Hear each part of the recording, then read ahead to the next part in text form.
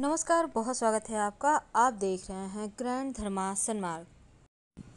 भगवान शिव श्रावण के महीने में आपके हमारे घरों में रहते हैं, शिवालय में रहते हैं। कहने का तात्पर्य, शिव पूरे परिवार के साथ पृथ्वी लोक पर रहते हैं, अपनी भक्तों की मनोकामनाओं को पूरी करते हैं और उनके हर कही अनकही बातों को वो सुनते भी हैं।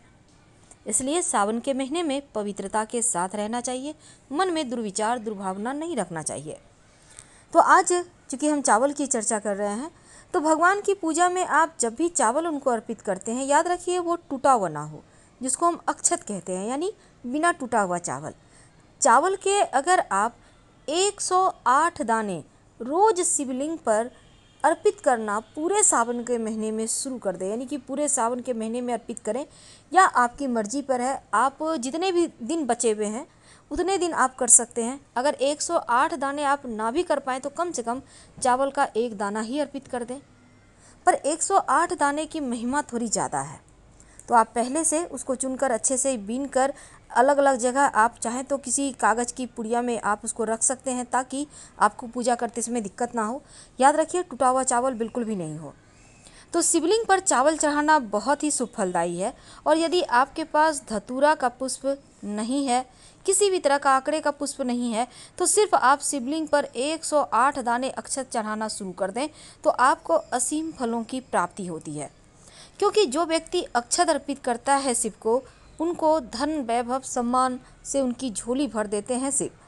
तो यदि आपके घर में आर्थिक समस्या है, घर के मंदिर में आपको लगता है जैसे कि घर में मंदिर है और आप पूजा पाठ भी करते हैं, लेकिन आपकी मनोकामना पूरी नहीं हो पा रही, तब एक छोटा सा काम करें। आपके घर में अगर शिवलिंग है शिव जी की तस्वीर है तो पूरे सावन महीना आप 108 दाने करके चावल अर्पित करें और अगले दिन सारा चावल इकट्ठा करके एक पात्र में रख लें, डब्बे में रख लें। जब सावन माह ख़त्म हो जाए, तब सारा चावल के दाने को आप या तो किसी चिड़ियों के निमित्त डाल दें, लेकिन छत पर मत डालिएगा। किसी पौधे के नीचे डाल सकते हैं या फिर आप किसी व्यक्ति को दान भी कर सकते हैं इस चावल को।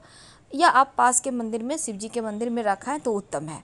धन की कमी नहीं होती, ऐसा प्रयोग करने से। देवताओं का प्रिय अन्न चावल है और इसी कारण से देवता भी इस चावल के अर्पित करने से प्रसन्न हो जाते हैं। लेकिन चावल जब आप अर्पित करते हैं तो उसको आप थोड़ा सा कलर कर लें। लेकिन शिव जी को आप प्लेन चावल अर्पित करेंगे, उसमें कलर नहीं करना। हाँ आप चंदन लगा सकते हैं, लेकिन बाकी देवताओं को कुमकुम या सुगंधित द्रव्य लगाकर ही अर्पित करें। अब देखिए कभी कभी इष्ट देव के नाम से अगर आप अक्षत अर्पित कर देते हैं तो जीवन में सुख सौभाग्य बढ़ता है, धन की कमी नहीं होते। इसलिए शिव जी की पूजा में चावल ज़रूर प्रयोग करना चाहिए।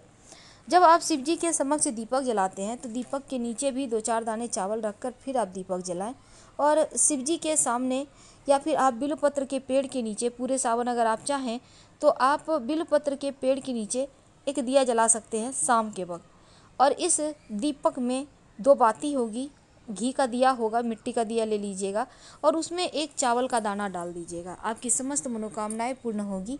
किसी भी तरह की कोई भी समस्या हो, क्योंकि बिलपत्र के पेड़ की महिमा बहुत है।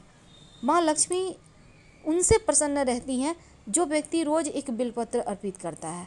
शिव जी को अगर एक बिलपत्र अर्पित किया जाए तो आपके जीवन के हर कष्ट ही मिट जाते हैं।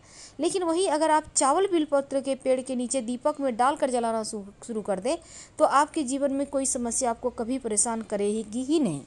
पर शिव जी को चावल ज़रूर अर्पित करें, हम आपसे विदा लेंगे। धन्यवाद।